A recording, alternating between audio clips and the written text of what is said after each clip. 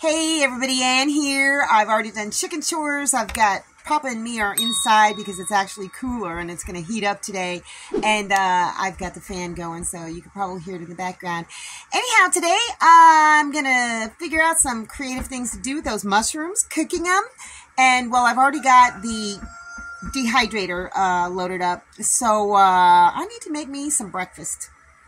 First off, I've got some jalapeno peppers, some cherry tomatoes that I just picked, and one of those firmer uh, two-color bolete mushrooms, and it's just going to go right in the pan.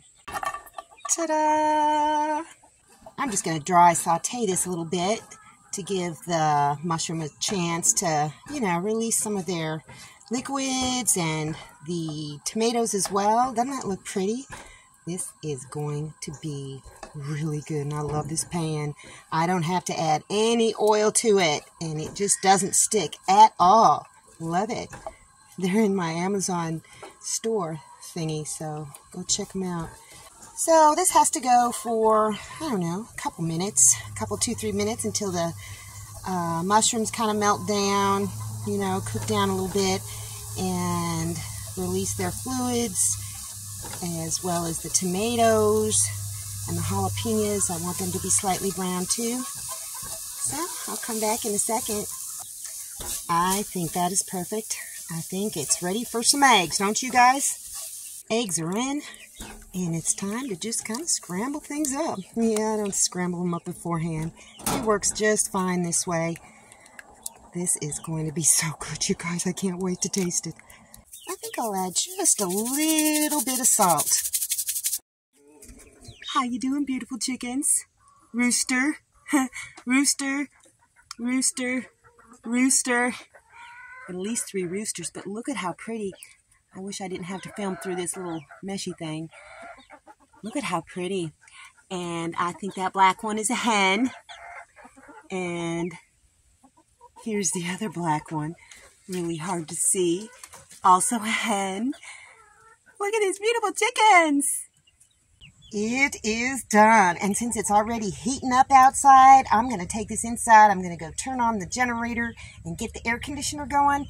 And uh, I think this needs some ketchup, don't you?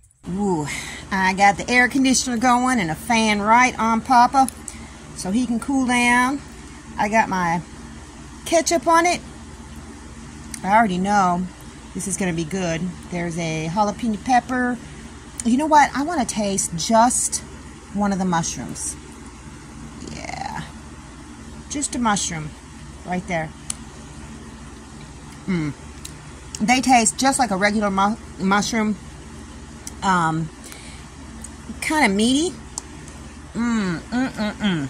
So I'm going to eat this, and I can't eat all of it. Mmm. But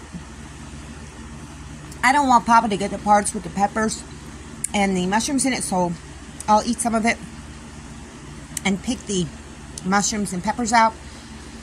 I don't think the mushrooms would bother him. He's had mushrooms before, but store-bought ones. But, oh my gosh, you guys. So good. It takes scrambled eggs to a whole nother level with fresh veggies in it. Oh, yes. See that? That's a piece of the mushroom, and it looks just like any store-bought mushroom, but it's tastier. What do you think, Papa? Is that good? He's licking his chops. I'm getting ready to dehydrate a bunch of these. A couple trays of the boletes. Put this over there. Uh, let's see more trays of the boletes. That is chicken of the woods, and the other one underneath is chicken of the woods. Does it look like crab meat or lobster meat? So we're going to dehydrate these. I, I didn't put any of chanterelles in here because they're outside in the air dehydrator. But we're going to fire this baby up. Since I got the generator going, I may as well. And uh, see how long this takes. And I've got more out here. Uh, this is the stuff that I started dehydrating a couple days ago. It's probably done, but it's been so humid lately that I'm just going to give it an extra day. And then over here, maybe hard to see, Uh, I've got the American Caesar mushrooms, a little bit of chicken mushroom, and the bolete, and then more chanterelles and boletes down here. This thing works great. Okay, I'm kind of bored, so I think I'm going to start dinner. First of all, I cooked this in the air fryer on both sides, uh, just to kind of like wilt it a little bit, because this is going to be, well, it's going to be a stuffed mushroom. This is my air fryer pan, and I really can't be bothered to buy those little trays anymore, so I just double up some heavy duty foil, put it down in the bottom of it, and I'm going to just plop this down in there. Doesn't look delicious, does it? I gotta have something to stuff the mushroom with, so there is some rehydrated chicken, uh, freeze-dried chicken, celery, onions, green peppers, red peppers, uh, one of my cayenne peppers from last year. What else is in there? I think that's about it. Just a whole, oh, uh, almost the last of my dehydrated squash from last year. So I kind of wanted to get it all rehydrated and it's we rehydrated nicely. So I got to put this in a bowl. Ta-da! Mm. Next, I'm going to add this stuffing mix and just read the instructions. Two cups water, one third cup butter. I'm going to use uh, dehydrated butter. So let's get this together. There we go.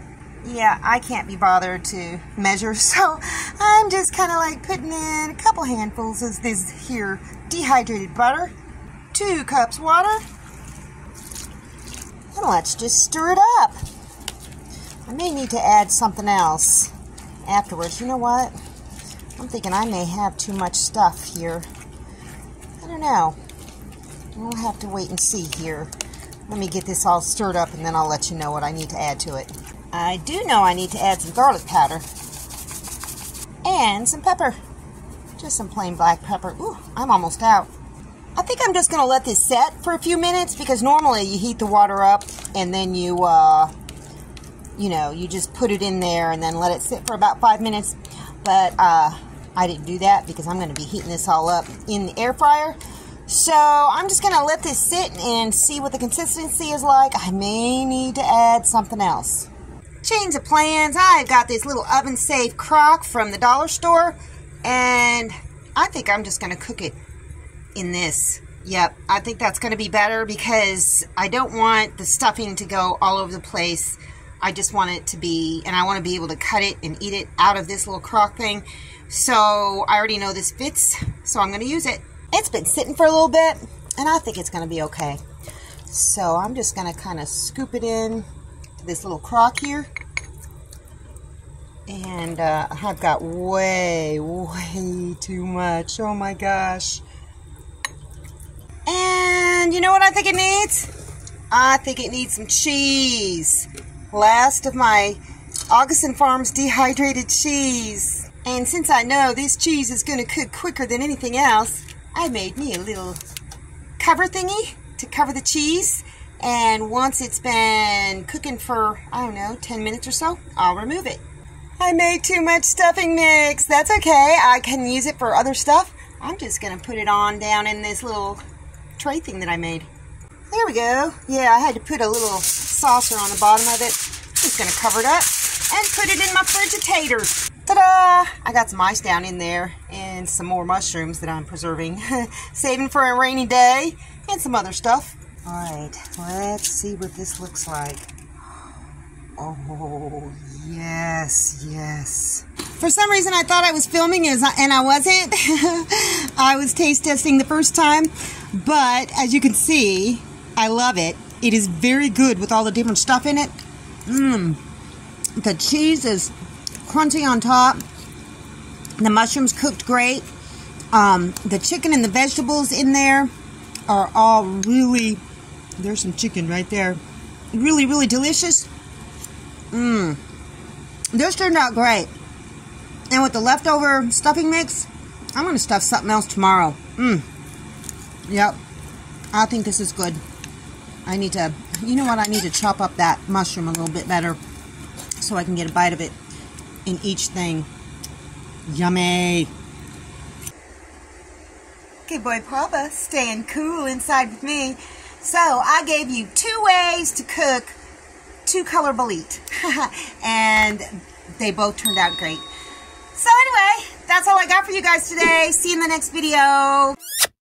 Thanks for watching, everybody. I hope you enjoyed the video. Make sure you like, subscribe, hit the bell, and y'all have a good one.